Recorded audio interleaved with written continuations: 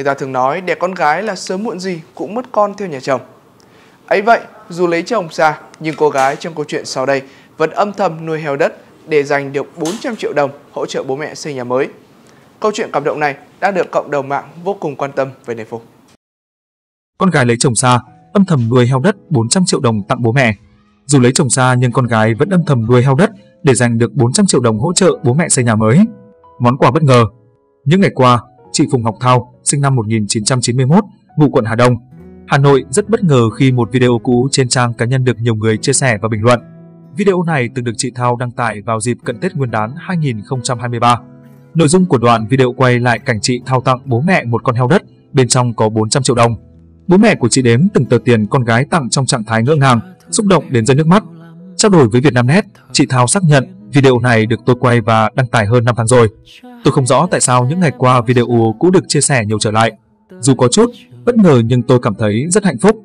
Chị Thao kể, cận Tết vừa rồi, chị mang theo heo đất về thăm bố mẹ ở huyện Ba Vì, Hà Nội. Để lưu lại kỷ niệm đặc biệt, chị Thao chủ động quay rất nhiều video. Chị quay từ lúc trò chuyện cùng bố ngoài vườn rau cho đến khi vào trong nhà. Thấy con heo đất, ông cứ nghĩ chị Thao mang về cho bố mẹ trưng bày. Tôi cũng chưa bố, nói heo đó chỉ để trưng bày thôi. Thế nhưng, vài phút sau, tôi nói bố đập heo, xem có gì bên trong. Bố tôi có vẻ hoang mang một chút. Ông nhẹ nhàng đập heo, rồi tròn xoe mắt khi thấy số tiền bên trong tràn ra sàn nhà. Mẹ tôi cũng đến gần và rất ngỡ ngàng. Tôi thấy bố mẹ vui mừng nhưng rồi họ khựng lại, tỏ vẻ lo lắng. Thì ra, bố mẹ lo việc này sẽ khiến vợ chồng tôi lục đục. Tôi phải động viên, giải thích rằng chồng, bố mẹ chồng tôi đều biết và hết lòng ủng hộ. Khi đã yên tâm, bố mẹ tôi lại chuyển sang thương tôi làm lụng vất vả mới có được số tiền đó. Ông bà nói mà giọng cứng nghẹn, rồi nước mắt tuôn ra. Chị Thao kể, chị Thao tâm sự, bản thân may mắn có được bố mẹ chồng tốt tính, vun vén cho các con. Ông bà vui vẻ, thoải mái chuyện con dâu hiếu thảo với bố mẹ đẻ. Về phần mình, chị Thao cũng hiểu và chủ động chăm lo chu đáo cho gia đình riêng. Trong mọi chuyện, chị đều bàn bạc, thống nhất với chồng rồi mới thực hiện. Âm thầm tích góp trong 8 tháng.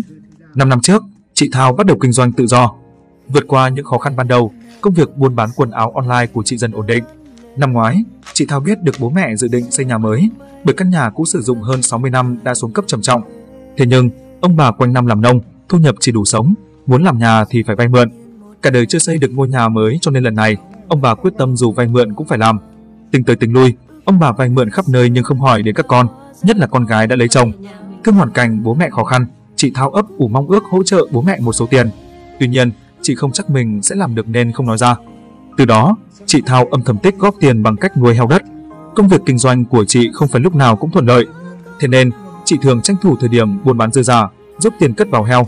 Sau 8 tháng, chị Thao để giành được 400 triệu đồng. Lúc này, bố mẹ của chị cũng xây nhà gần xong. Nhận được món quà lớn từ con gái, bố mẹ chị Thao mang tiền trả hết số nợ đã vay bên ngoài, chỉ còn nợ ngân hàng một ít. Hiện tại, ông bà đang sống trong ngôi nhà mới nhỏ gọn, khang trang. Căn nhà cũ cùng vườn rau vẫn được giữ lại làm kỷ niệm.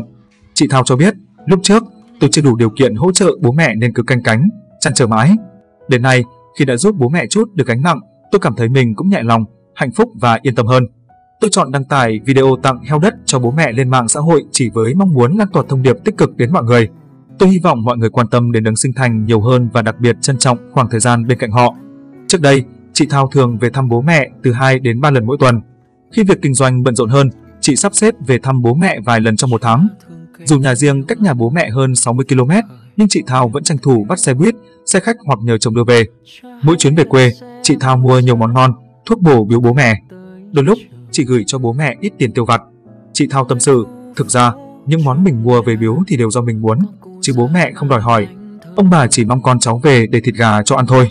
Đến lúc mình đi, ông bà còn chuẩn bị bao nhiêu rau củ, gà cá cho con mang theo. Quả là người con gái hiếu thảo và hiểu chuyện và cũng thật may mắn cho cô kiếm được một người chồng luôn ủng hộ cô. Phụ nữ khi kết hôn thường rất thiệt thòi khi phải xa bố mẹ đẻ để phụng dưỡng gia đình bên nhà chồng. Vì vậy, các anh chồng có đang xem video, hãy nhớ luôn tạo điều kiện để vợ mình về thăm gia đình nhé.